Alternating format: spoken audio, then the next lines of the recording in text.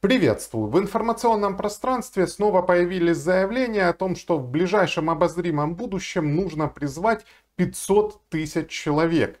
И все это подкрепляется уже э, достаточно известным и привычным нам заявлением о том, что служить будут все. И вот сегодня я хочу поговорить с вами о том, насколько это реально и оценить это не с точки зрения там, моей позиции, да, а с точки зрения статистики, статистики по количеству населения в Украине, количество людей, которые подлежат мобилизации и количество людей, которые имеют разного вида отсрочки и не подлежат мобилизации.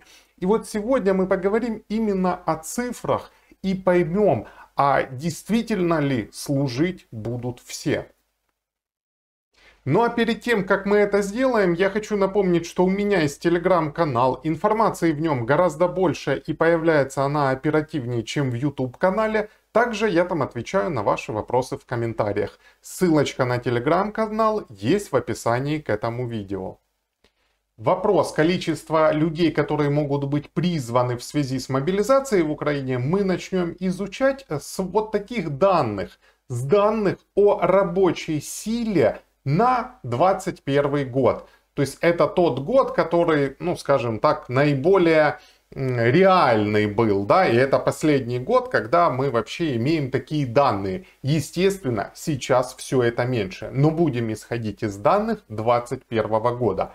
И вот здесь мы можем посмотреть количество мужчин э, трудоспособного возраста. Но будем, естественно, не все смотреть, а вот, скажем так, округлим, да, и будем смотреть с 25 до 60 лет, соответственно. То есть тех людей, которых можно призвать в связи с мобилизацией. И вот эта группа мужчин, она составляет 8 миллионов человек. То есть мы привыкли говорить о том, что мы там живем в стране, в которой там то ли 40, то ли 30 миллионов человек. Не суть важно. Но дело в том, что из всех этих 30-40 миллионов человек призвать мы можем только очень узкий круг мужчин мужчин в возрасте от 27 до 60 лет. И вот здесь мы видим, что количество таких людей у нас 8 миллионов человек. И это базовая цифра, с которой мы будем работать. Следующая серьезная цифра это 2,7 миллиона. Именно столько в Украине инвалидов. И почему я говорю о инвалидах? Да потому что наличие инвалида в семье дает отсрочку.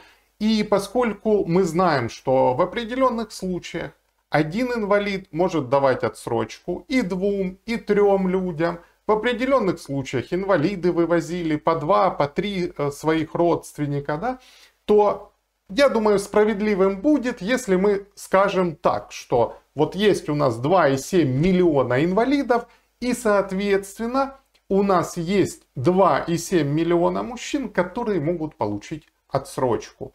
И, соответственно, вот давайте считать грубо.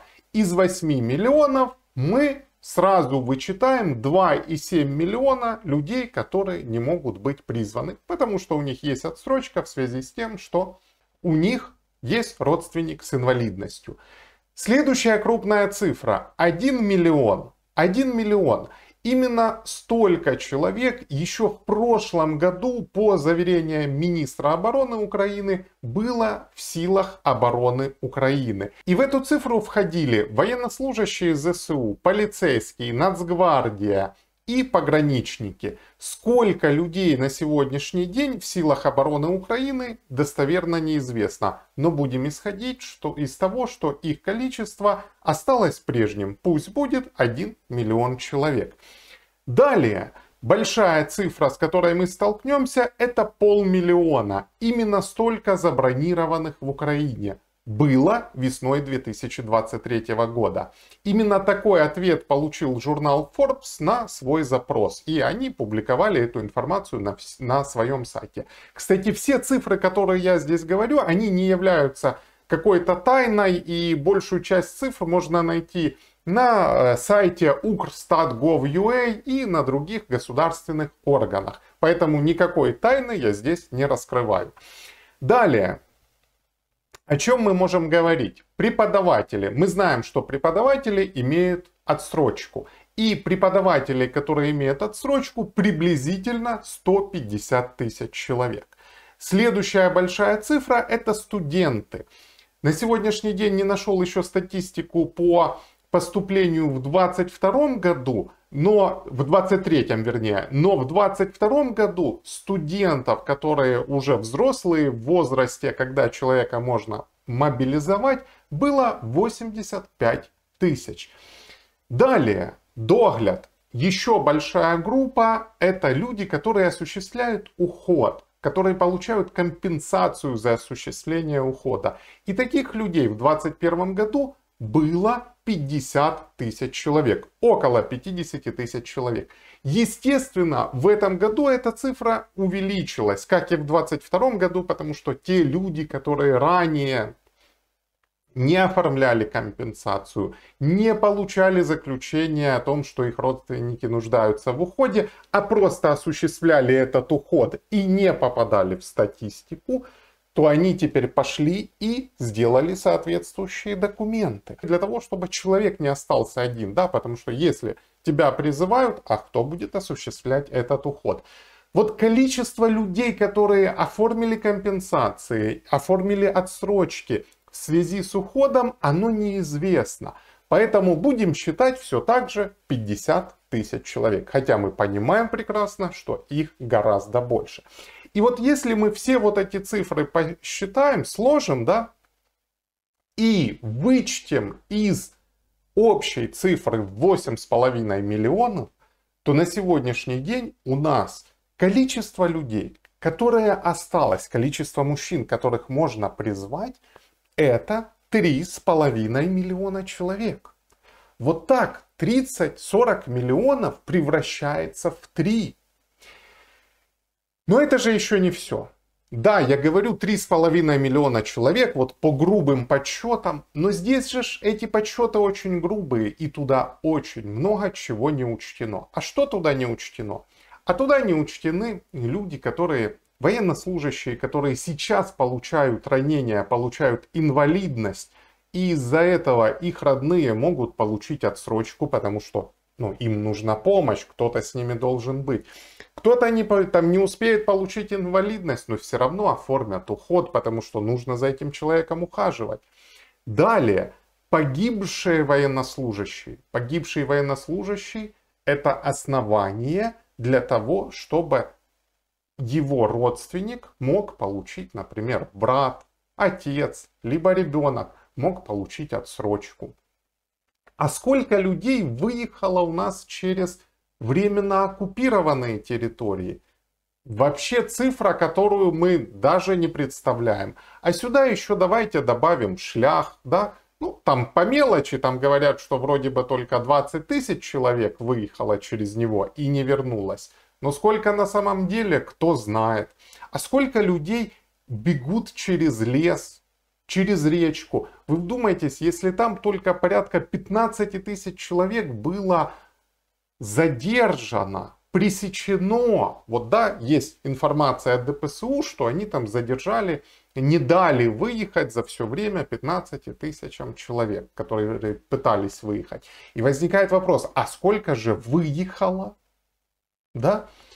И, соответственно, вот эти мои грубые подсчеты, что нас осталось там 3,5 миллиона тех мужчин, которых можно призывать, да, она же еще, наверное, и завышена, потому что часть из этих мужчин просто по состоянию здоровья не могут быть призваны. Они еще не проходили ВЛК. И даже при том, что мы знаем, что ВЛК очень часто достаточно формально относится к вопросам медицинской оценки состояния здоровья человека, что там очень часто пригодным является тот человек, который не совсем пригоден.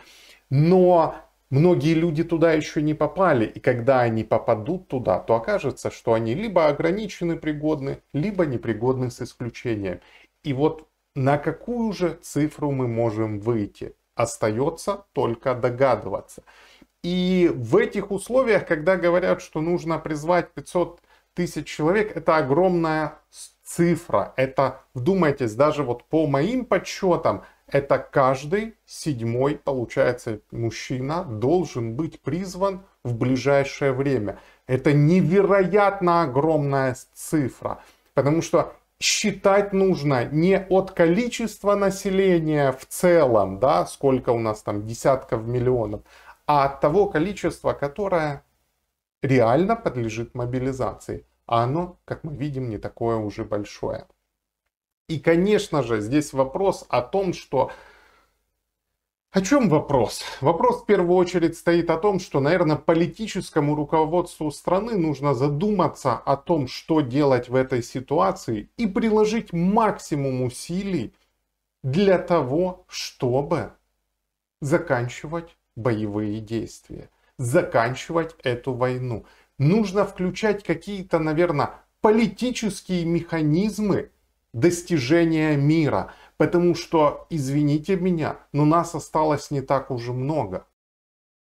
Я прекрасно понимаю, что данное видео вряд ли можно назвать сколь-либо позитивным, но, наверное, его задача была не, этом, не в этом. Его задача была в том, чтобы э, показать вам картину, ту картину, на которую мы зачастую не задумываемся, да, у вас нет времени на то, чтобы поискать эту статистику, разобраться. И вот я ее собрал. Да, она достаточно грубая, подсчеты неточные, безусловно. Но, как мне кажется, в целом картину, которая происходит в стране, она отображает. На этом у меня все. Если вы считаете, что данное видео было полезным, поставьте ему лайк и подписывайтесь на мой канал. Ну а я вам традиционно пожелаю удачи, благополучия и, конечно же, мира. Пока-пока.